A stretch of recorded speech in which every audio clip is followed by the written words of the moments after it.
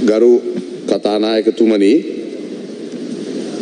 වරප්‍රසාද ප්‍රශ්නයක් ඉදිරිපත් කිරීමට ඔබතුමාට සියලු ලිවිකීවෙලි බාර දුන්නා. මම කළුතර දිස්ත්‍රික්කය නියෝජනය කරමින් දෙදාස් එක වර්ෂයේ ඉඳං මේ උත්තරීතර පාර්ලිමේන්තුව අවුරුදු විසිතුනක් පාර්ලිමේන්තු මන්ත්‍රීවරයෙක් හැටියටත් එවගේම නියෝජ්‍ය අමාත්‍යවරයෙක් රාජ්‍ය අමාත්‍යවරයෙක් කැබිනට් අමාත්‍යවරයෙක් හැටියට මේ පාර්ලිමේන්තුව තුළ කටයුතු කරලා තියෙනවා.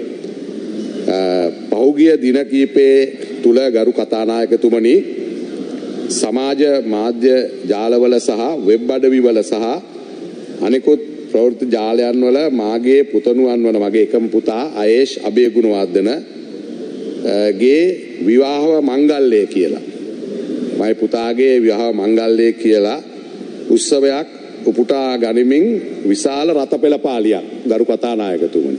හෙලිකොප්ටර් යානයකින් ඇවිල්ලා ඒ මනාල යුවල බහිනවා ඊළඟට රථවාහන විශාල ප්‍රමාණයකින් යන සියලුම වීඩියෝ දර්ශන සමාජ මාධ්‍යයට මුදා හැරලා තියෙනවා ගරු කතානායකතුමනි. ගරු කතානායකතුමනි මගේ අය ශබයගුණවර්ධන මගේ පුතා නීතිවේදී ශිෂ්‍යයෙක් ලෙස තාම අවුරුදු 20යි ඉගෙන ගන්න දරුවෙක්. තොර මේ ක්‍රියාවලිය තුල මගේ දේශපාලන ජීවිතයට තාමත්ම මගේ ප්‍රතිරූපයට ලොකු හානියක් කරලා තියෙනවා. ගරු කතානායකතුමනි. මේවා සමාජ මාධ්‍ය දකින අය නොයෙක් විදිහට මේක විග්‍රහ කරමින් නොයෙක් විදිහේ දේවල් කරනවා. ඉතින් විශේෂයෙන් මේ වන විට ඔබතුමාට මතක් කරනවා මගේ පුතා විවාහයක් වෙලත් නැහැ. එක පුතෙක් ඉන්නේ.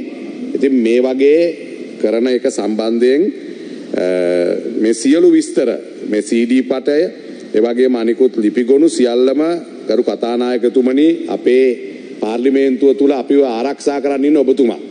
ඔබතුමා තමයි අපේ නායකයා. අපිට ඇවිල්ලා දෙයක් කියන්න වරප්‍රසාද ප්‍රශ්නයක් ඔබතුමාට කියන්න තියෙනවා. ඒ නිසා මේ පාර්ලිමේන්තුවේ මේක ආණ්ඩුව වෙන්න පුළුවන් විපක්ෂය වෙන්න පුළුවන් මේ 225ම බලා ගැනීමේ වගකීම ඔබතුමාට තියෙනවා. මේක අද මට කරලා හෙට විපක්ෂ කෙනෙකුට වෙන්න පුළුවන්. ඊළඟ දවසේ ඔබතුමාට වෙන්න පුළුවන්. ඒ නිසා මේ සම්බන්ධයෙන් නීතිමය ක්‍රියාමාර්ගයක් ගන්න කියලා මම ඔබතුමාගෙන් ඉල්ලීමක් කරනවා.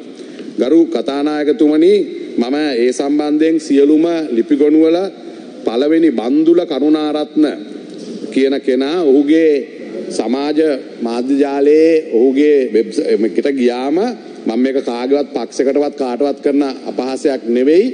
ඔහුගේ ප්‍රොෆයිල් එකට ගියාම ඔහු JVP සමාජිකයෙක්. ඒක ලිඛිතව මම ඔබතුමාට ඉදිරිපත් කරනවා. ඔව්. ඔව්. ඒ නිසා අනිත් කෙනා නිමලසිරි කුරේ. එයා සමාජ අරගල සමාජිකයෙක්. අනිත් කෙනා කවි කවිතා මෙයා ජනතා යුක්ති පෙරමුණේ සමාජිකයෙක් අනුර කුමාර දිසානායක පාර්ලිමේන්තු මන්ත්‍රීතුමාගේ ෆොටෝ එක තමයි මෙයාගේ ප්‍රොෆයිල් එකේ තියෙන්නේ. ඊට පස්සේ තව ඉන්නවා රීෂා ෆාහිම්. එයත් ජනතා යුක්ති පෙරමුණේ සමාජිකයෙක්. ඊළඟ කෙනා සුරංග පුෂ්පකුමාර බහරේන් වලින් ඔහු JVP එකේ සමාජිකයෙක්. ගාමිණී සලුවඩන ඔහුත් ජනතා විමුක්ති පෙරමුණේ සමාජිකයෙක් එවැගේම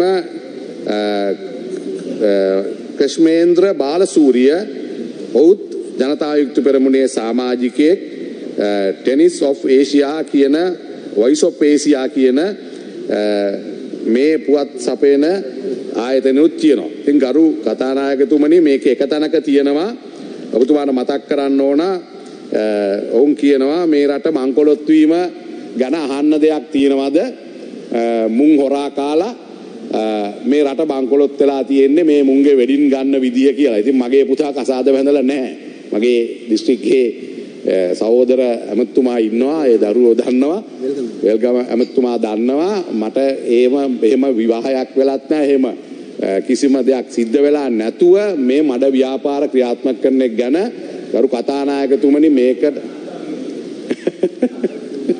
ගරු කතානායකතුමනි මේ සම්බන්ධයෙන් ඔබතුමාගේ විශේෂ අවධානය යොමු කරලා මේක වරප්‍රසාද කමිටුවට යොමු කරන්න යොමු කරලා මේ සම්බන්ධයෙන් ඉදිරියට ක්‍රියාමාර්ගයක් ගන්නයි කියලා ගරු කතානාගතුම ඔබතුමාගෙන් බොහොම ගෞරවයෙන් ඉල්ලා සිටිනවා. ඒක වරප්‍රසාද කමිටුවට යොමු කරන්න.